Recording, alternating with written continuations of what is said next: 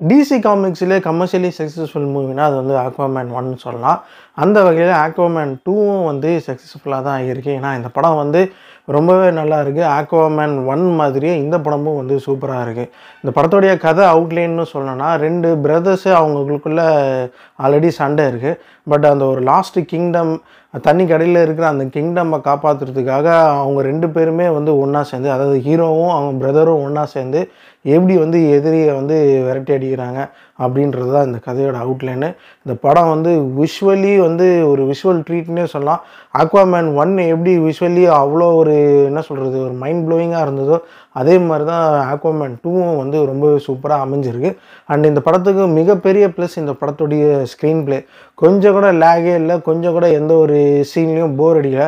என்னதான் visual effect scenes நிறையா இருந்தாலும் பல ஹாலிவுட் படங்கள் வந்து ஒரு ஸ்க்ரீன் பிளேயில் வந்து பல சமயம் வந்து போர் அடிக்கிற மாதிரி இருந்திருக்கும். ஆனால் இந்த படம் அந்த மாதிரி கிடையாது. ஆக்வாமேன் ஒன் மாதிரியே இந்த படம் வந்து ரொம்பவே சூப்பராக அமைஞ்சிருக்கு. ஸோ இந்த வீக்கெண்டுக்கு இன்ஃபேக்ட் இந்த கிறிஸ்மஸ் ஹாலிடேஸ்க்கு வேர்ல்டு ஃபுல்லாக ரிலீஸ் ஆகிருக்கு இந்த படம் ஒரு எல்லாருக்குமே இது வந்து ஒரு நல்ல ஒரு ட்ரீட்னே சொல்லலாம். ஒரு தரமான ஹாலிவுட் படம் வந்திருக்கு. இந்த படம் வந்து பார்த்திங்கன்னா ஏற்கனவே ஷூட்லாம் முடிஞ்சிட்டு அந்த டைமில் ஒரு ரூமர் வந்துச்சு. எப்படின்னா இந்த படத்துடைய அந்த காப்பியே வந்து எரேஸ் ஆகிடுச்சு அவங்க வந்து ஒரு சிஸ்டமில் ஆர்டரில் வச்சுருந்தாங்க. அது வந்து க எரேஸ் ஆகிடுச்சு அதை வந்து ஆன்டிவைரஸ்லாம் போட்டு அதை வந்து ரெக்கவர் பண்ணுறாங்க அதனால் படம் வருமா இல்லையான்னு தெரியாது அப்படின்ற மாதிரி ஒரு டாக் இருந்தது. ஆனால் படம் வந்து ஆஸ் பர் ஷெட்யூல் இந்த டிசம்பர் டுவெண்ட்டி ஃபைவ் அதாவது அந்த கிறிஸ்மஸ் ஹாலிடேஸை டார்கெட் பண்ணி அதே மாதிரி பக்காவாக வேர்ல்டு ஃபுல்லாக ரிலீஸ் ஆகியிருக்காங்க அண்ட் இது வந்து ஒரு த்ரீ டி படம். இது வந்து ஒரு டூ டியில் பார்க்குறதுக்காட்டிலும் த்ரீ டியில் பார்க்குறதுக்கு தான் வந்து உண்மையிலேயே சூப்பராக இருக்குது அண்டு குழந்தைங்களோட என்ஜாய் பண்ணி பார்க்கணும்னா ஏன்னா சில படங்கள் மட்டும்தான் எவ்வளோ படங்கள் த்ரீ டியில் வருது. ஆனால் சில படங்கள் மட்டும்தான் அந்த த்ரீ டியே வந்து ஃபுல் அண்ட் ஃபுல் நம்மளால் எக்ஸ்பீரியன்ஸ் பண்ண முடியும். அந்த மாதிரி தேட்டரில் போய் ஒர்த்தாக பார்க்குற ஒரு த்ரீ டி படம்னா ஆக்வாமேன் டூ சொல்லலாம். நான் வந்து இந்த படத்தை வந்து தமிழ் டப்டு வெர்ஷனில் பார்த்தேன்.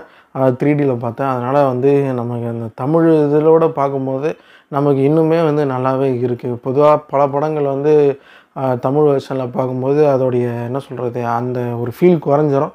பட் இந்த படம் அப்படி கிடையாது. இது வந்து தமிழில் பார்க்குறதுக்கே உண்மையிலேயே நல்லாயிருக்கு அண்டு டிசி காமிக்ஸில் இருக்கிற அக்வாமேன் ஒன்னை வந்து அக்வாமேன் டூவில் வந்து முடிக்கிற மாதிரி இருக்குது இதுக்கு அப்படியே இன்னொரு அடுத்த பார்ட்டிக்கு பெருசாக ஒரு லீடு கொடுக்காம இது வந்து ஒரு என்ன சொல்கிறது ஒரு ஜஸ்டிஸ் லீக் அந்த ஃபைனல் எண்டு மாதிரி அக்வாமேனுக்கே வந்து இது ஒரு எண்டு கொடுக்குற மாதிரியான இந்த படத்தை வந்து அமைச்சிருக்காங்க.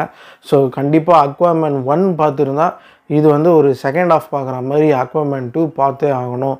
நீங்கள் வந்து ஒரு அக்வாமேன் ஃபேன்னா கண்டிப்பாக உங்களுக்கு இந்த படம் பிடிக்கும். ஃபஸ்ட் ஆஃப்லேயே வந்து விஷுவல் எஃபெக்ட் சீன்ஸ்லாம் ரொம்பவே மிரட்டலாக இருக்குது ஆனால் அதை விட பயங்கரமாக செகண்ட் ஆஃபில் இருக்குது செகண்ட் ஹாஃப்லாம் பார்த்தீங்கன்னா டுவர்ட்ஸ் கிளைமேக்ஸ்லாம் கண்டினியூஸாக ஃபைட்டுன்னு சொல்லிட்டு அந்த விஷுவல் எஃபெக்ட்ஸ் தண்ணிக்கு அடியில் நடக்கிற விஷயங்கள் வந்து ரொம்பவே அமைச்சு சூப்பராக அமைச்சிருக்காங்க அப்படின்னு தான் சொல்லணும். நம்ம சேனலில் இந்த படத்துக்கு ஒரு ரேட்டிங்னு கொடுக்கணும் அவுட் ஆஃப் ஃபைவ்னா நம்ம வந்து ஒரு த்ரீ பாயிண்ட் ஃபைவ் கொடுக்கலாம். ஏன்னா அந்த அளவுக்கு இந்த படம் வந்து ரொம்பவே நல்லா வந்திருக்கு.